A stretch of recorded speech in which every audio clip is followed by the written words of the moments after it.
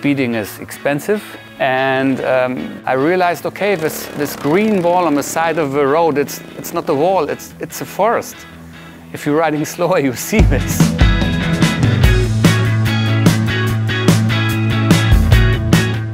My name is Tommy.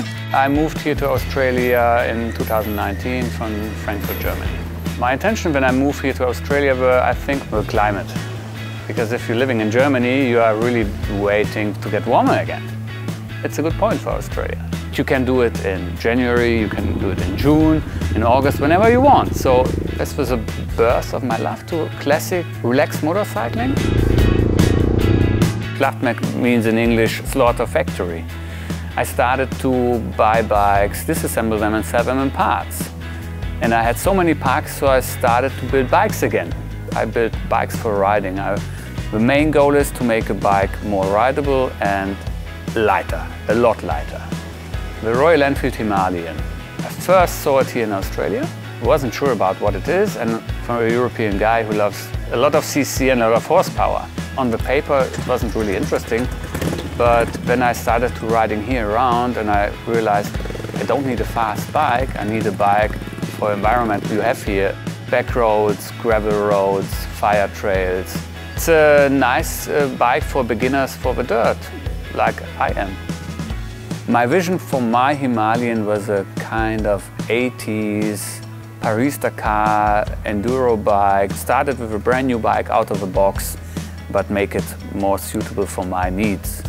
And since I'm working on Royal Enfields, I'm really impressed on the build quality. I'm really happy to work with these bikes and I'm really enjoying the ride every time I turn the key.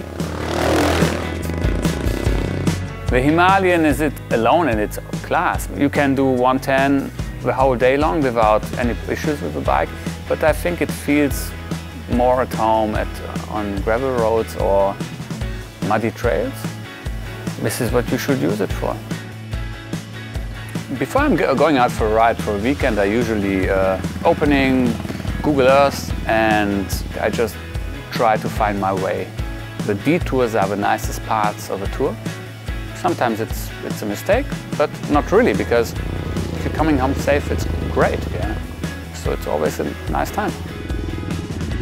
Some people just want to jump on a bike on a weekend and enjoying the pure ride without any gadgets on the bike listening to the, to the sound of an engine or feeling the corners or the braking points or just enjoying nature. If I'm going out in the bush with a bike, it's, for me, it's everything is new and it's beautiful.